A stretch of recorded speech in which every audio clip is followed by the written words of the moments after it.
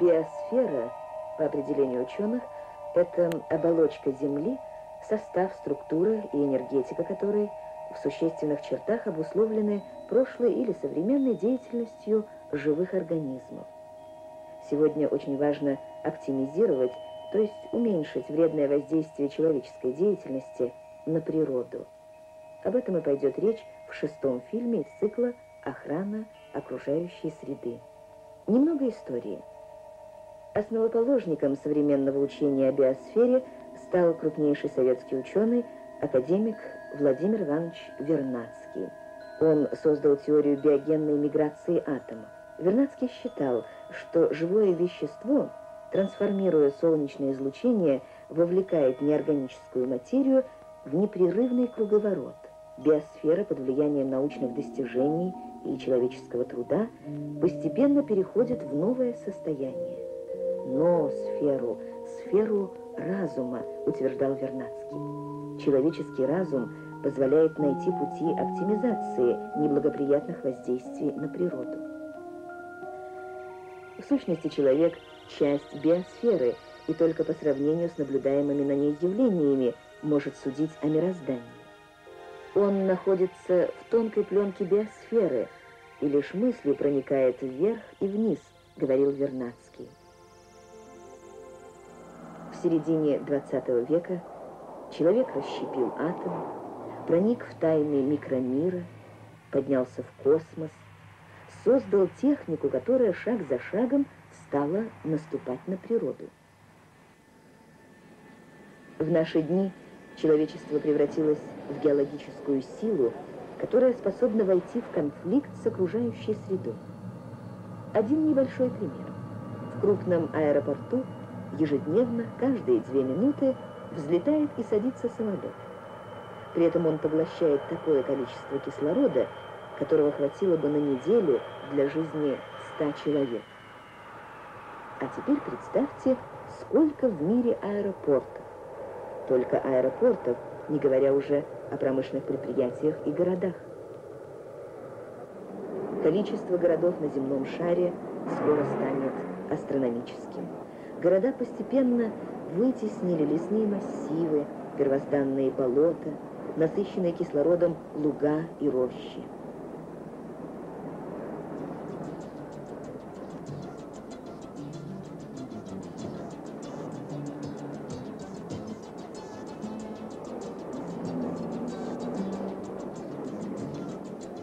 У современного города, будь он большой или маленький, много разных проблем.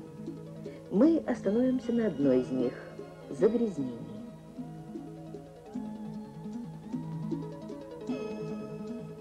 Знаете ли вы, сколько бытовых отходов оставляет после себя в год один человек?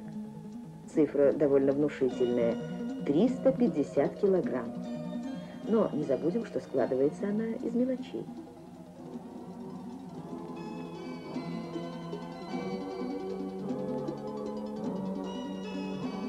Примеру, если старые афиши в городе не убирать, то очень скоро они закроют весь асфальт. А сколько сил нужно затратить, чтобы почистить, умыть город?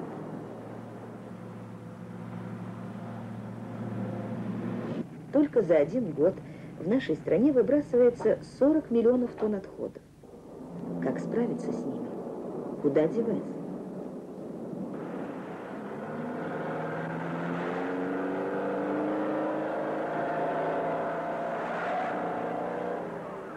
Пока отходы либо сжигают, либо закапывают, и целые острова сокровищ превращаются в пепел, над которым стоит густой едкий дым.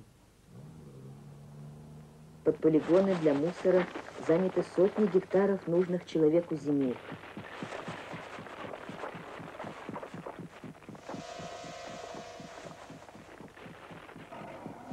Сегодня проблема переработки бытовых и производственных отходов беспокоит не только хозяйственников, но и ученых. Необходимо извлечь и возвратить промышленности ценное сырье и избавить горожан от соседства грязных свалок.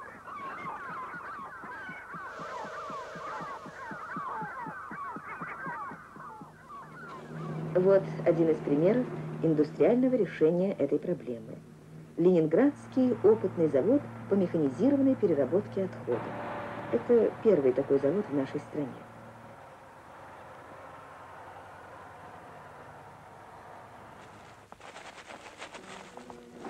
Весь процесс здесь автоматизирован.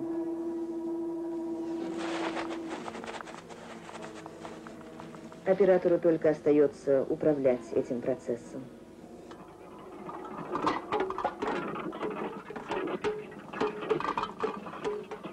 Мощный магнит притягивает к себе все металлические предметы. И металл, так необходимый государству, завтра снова станет разнообразными изделиями, без которых мы просто не можем обойтись. Но самое главное, этот металл гораздо дешевле того, который извлекают из руды.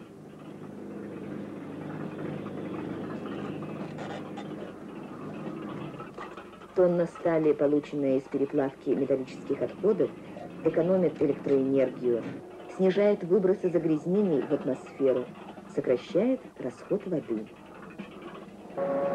Ленинградский опытный завод в течение года извлекает из мусора 3000 тонн металла.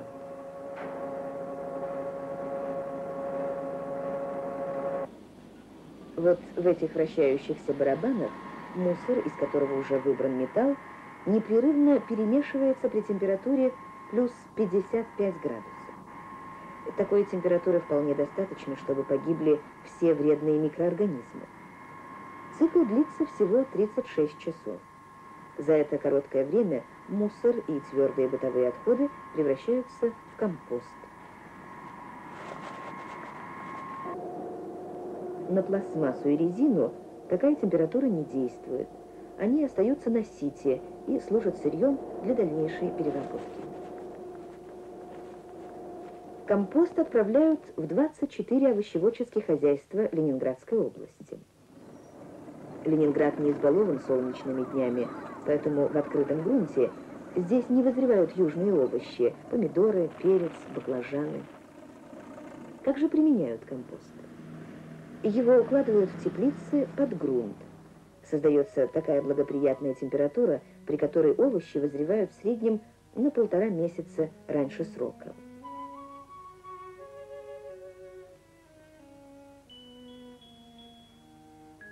Так решается одна из проблем оптимизации антропогенных воздействий.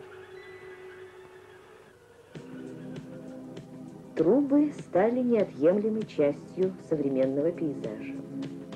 Заводские трубы выбрасывают в атмосферу углекислый газ, окислы серы и азота. В нашей стране установлены определенные нормы для вредных выбросов в атмосферу. В ранг закона возведена ответственность руководителей предприятий за загрязнение окружающей среды. В Конституции СССР предусматривается, что в интересах настоящего и будущего поколений – должны быть приняты необходимые меры для сохранения в чистоте воздуха и воды.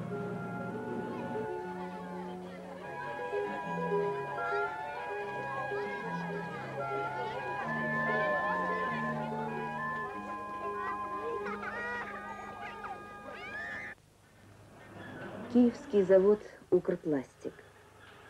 Со временем сложилось так, что он оказался в центре жилого массива, и остро встал вопрос о переводе предприятия за пределы города. Производство химическое, а значит выделяет в атмосферу вредные вещества. Ну, теперь точнее сказать, выделяло. На заводе таким образом изменили технологию производства, что все вредные вещества стали улавливаться в специальных термокаталитических реакторах. При этом не изменилось сырье, из которого делают полиэтиленовые пленки и пакеты. Не изменился состав лака и красок, которые применяют для изготовления мебельных покрытий.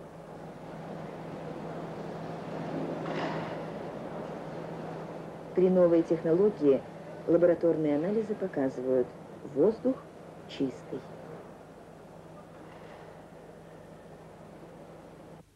Дожигание в термокаталитических реакторах происходит при температуре 300-400 градусов. Состояние самих реакторов находится под постоянным контролем, ведь от этого зависит, насколько тщательно дожигаются газы.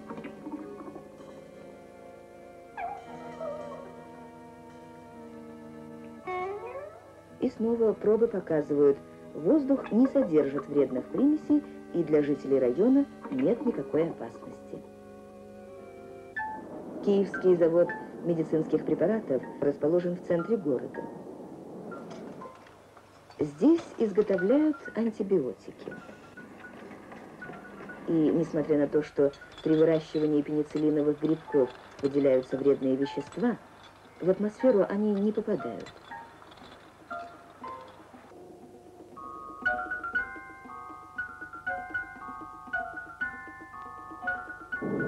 Специальным трубам их направляют в котельную завода и сжигают. Вредные вещества становятся топливом. А тепло из котельной используется для бытовых нужд самого предприятия. Таким образом, продуманная технология производства на заводах «Укрпластик» и «Медпрепарат» пример того, как человек может уменьшить или полностью исключить вредное воздействие на окружающую среду.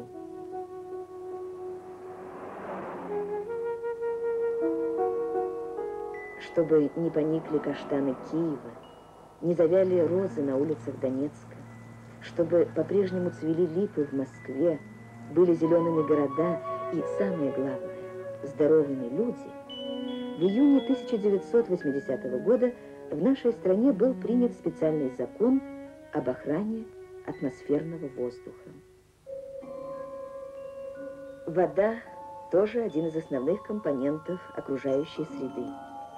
И соотношение суши и моря, испокон веков сложившееся, является показателем равновесия в природе.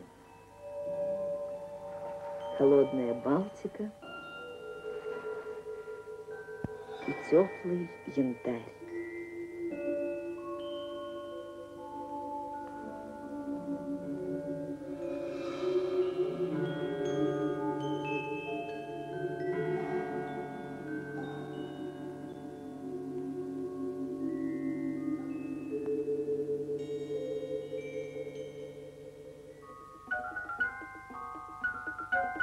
Сколько труда нужно вложить, чтобы превратить в украшение солнечный камень?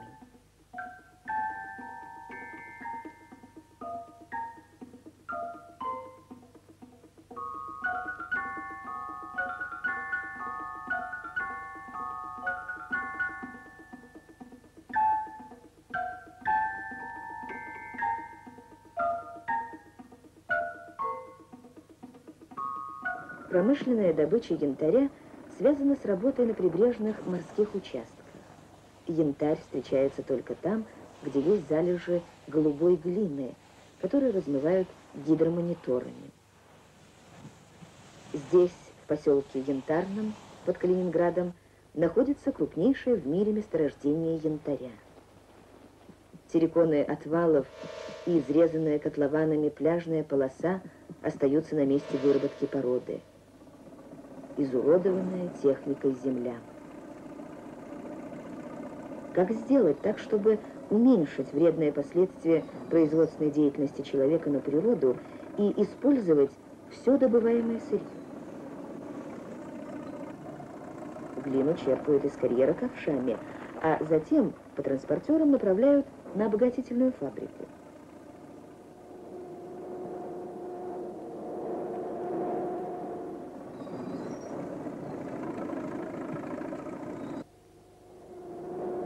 Здесь янтарь несколько раз промывают, просеивают, и самый крупный используют в ювелирном производстве. А янтарная крошка и отходы? Янтарь мелких фракций плавят. Он применяется как смоляной компонент в лаках, на которых затирается краска.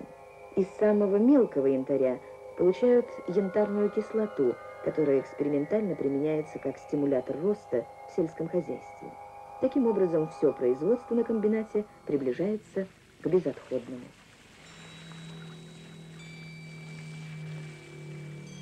Добыча янтаря требует большого количества воды, и в основном используется вода из Балтийского моря. После окончания всех производственных циклов должно быть решено две проблемы. Возвращение воды в Балтийское море и глины в карьеры, из которых она вычерпана.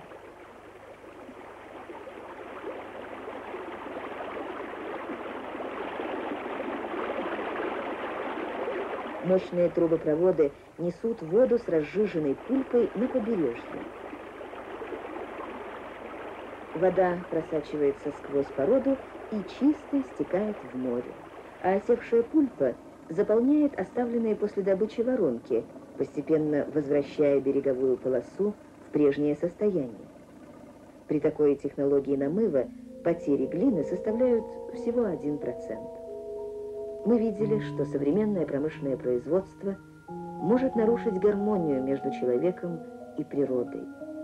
Но человеческий разум способен уменьшить неблагоприятные антропогенные воздействия. Таков путь к ноосфере, сфере разума, о которой говорил наш великий соотечественник Владимир Иванович Вернадский.